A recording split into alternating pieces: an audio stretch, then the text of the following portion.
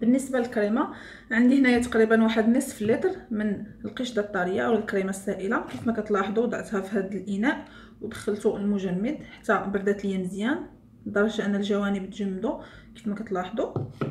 غادي نحتاج كذلك علبة من الجبن جبلي. وغادي نحتاج السكر حسب الذوق لأن هاد الكريمة عندي أنايا بدون سكر. إلا كانت الكريمة فيها سكر بلا ما تستعملوا السكر كيبقى حسب الذوق. وغادي نسم كذلك بساشي من سكر فاني على بركة الله غادي نبدأ في تحضير الكريمة.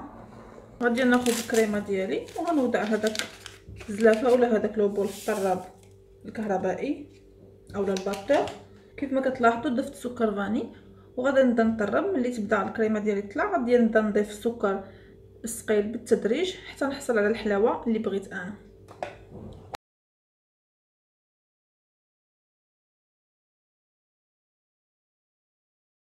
بعد ما طلعنا الكريمة بهذا الشكل غادي نضيف العلبة ديال الجبلي كاملة.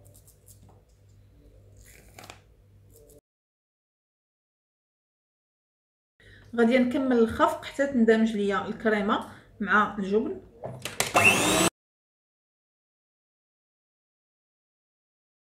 صافي بهذا الشكل كنكون ساليت الخفق ديال الكريمة ديالي.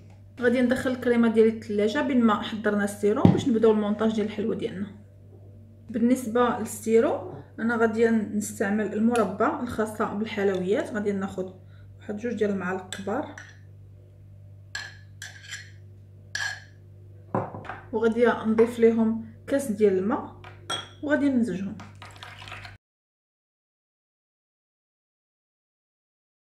بهذا الشكل كنكونوا صافي حضرنا ال sirop ديالنا. ما غادي نسخنو ما والو غنخليه غير بحال هكا. الكمية ديال المربى والنكهة ديالو كتبقى حسب الرغبة ديالكم وحسب الذوق. دابا غادي نبداو إن شاء الله نمونطيو الحلوة ديالنا.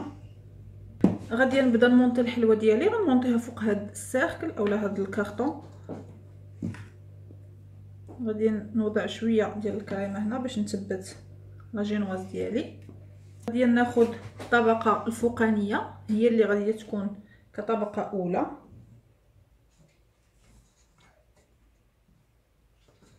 غنوضعها فوق هذا الكارطون بهذا الشكل. استعملت هذه تحت هذا الكارطون ديالي باش نقدر نخدم الحلوة ديالي مزيان حيت غندير ليها الإطار. هذا هو هذاك السيرك اللي تيكون في هذاك المول ديال لابارت. غادي نحل المول ديالي. وغادي نثبتو مزيان. وغادي نبدا نسقي الحلوه ديالي. أولا الطبقة الأولى ولا جينواز. نسقيوها مزيان.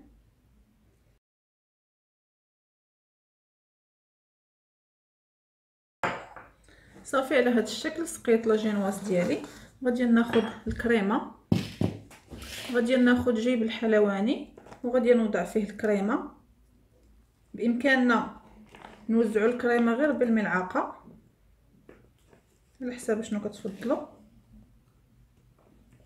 غادي ناخذ الحلوة ديالي وغنوزع الكريمة بهذا الشكل.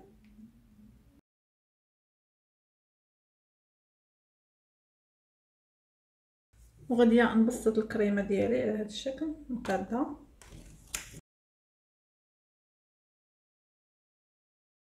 دابا غادي نوضع الطبقه الثانية من لاجينواز وغادي نسقيها بنفس الطريقة اللي سقيت بها الطبقة الأولى وغادي نوضع طبقة أخرى من الكريمة بنفس الطريقة اللي وضعت بها الطبقة الأولى ديال الكريمة.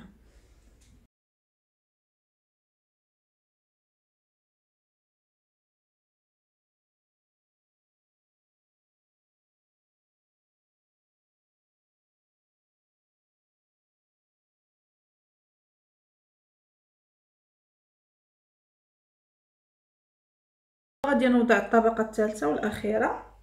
آه خليت هذيك الطبقة التحتانية ديال la génoise اولا الطبقة السفلى هي اللي غادا نديرها في الطبقة الفوقانية اولا العلوية ديال الكاطو ديالنا حيت كتكون مستوية ومسرحة. كتجي مزيانة في ال finition.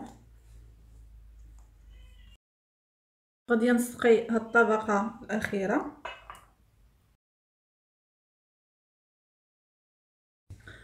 غادي نغطي آه، الوجه ديال الكاطو ديالي كامل بالكريمة. ما لاحظتوا على الوجه غندير غير طبقة رقيقة ماشي بحال الطبقة الأولى والثانية.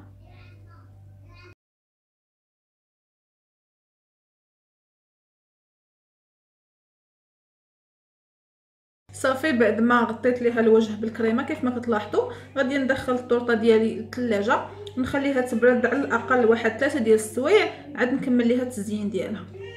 بعد ما بردات الحلوة ديالنا غادي نحاولوا دابا نزولوا الإطار.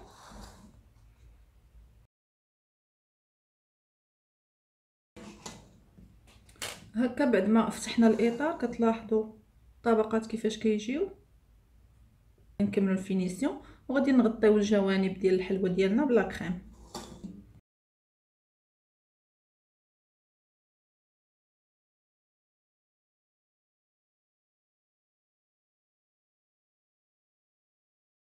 دابا غادي نكملو مراحل التزيين غادي ناخذ شوية من الكريمة اللي غنزين بها.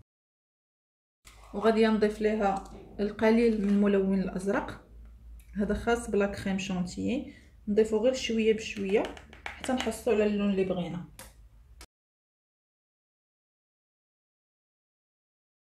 صافي هذا هو اللون اللي بغيت نحصل عليه اللون أزرق.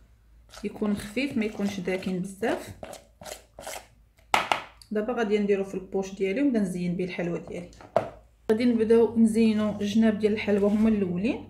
غادي نختار ندير بحال هكا وليدات صغار.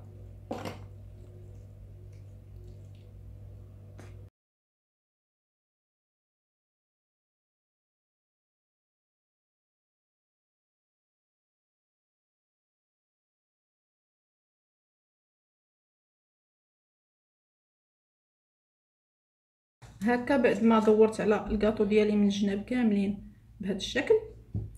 دابا غادي نبداو في تزيين الوجه. بالنسبة للوجه أنا اختاريت غادي نزين بهذه الصورة ديال ملكة الثلج ألسا. غادي ناخذ الكاطو ديالي وغادي نوضعها في الوسط ديالو.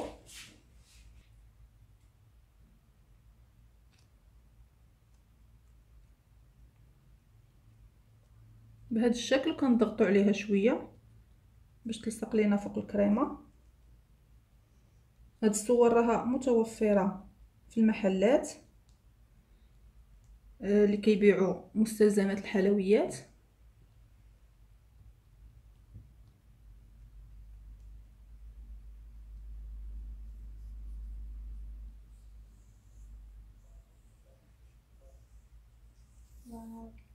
صافي هكا بعد ما تبت الصورة ديالي. غادي نزين الجوانب بورود من الكريمة آه، باللون الأزرق. صافي دابا غادي نبدأ ندير ورود في الجناب هكا بهذا الشكل.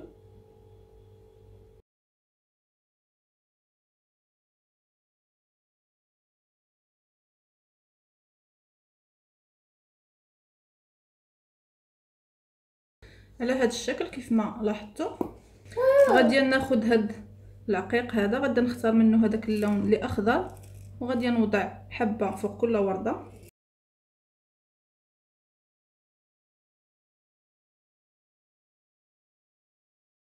صافي بعد ما وضعت هذا الفاني كيف ما كتلاحظوا بالشكل باللون الأزرق ماشي الأخضر كيف ما قلت لكم في الأول.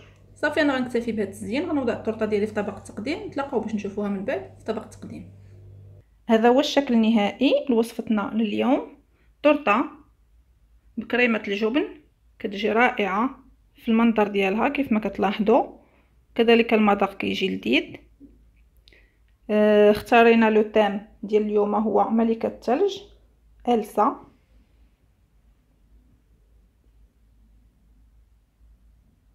نتمنى أن هذه الوصفة تنال إعجابكم وتفرحوا بها وليداتكم في مناسبات مختلفة. كذلك كتجي زوينة في أعياد الميلاد. وإلا عجبتكم الوصفة ما تنساوش تخليو جيم لا فيديو وتشتركوا بالقناة ديالي باش يوصلكم دائما جديد الوصفات وإلى اللقاء مع وصفة قادمة بحول الله.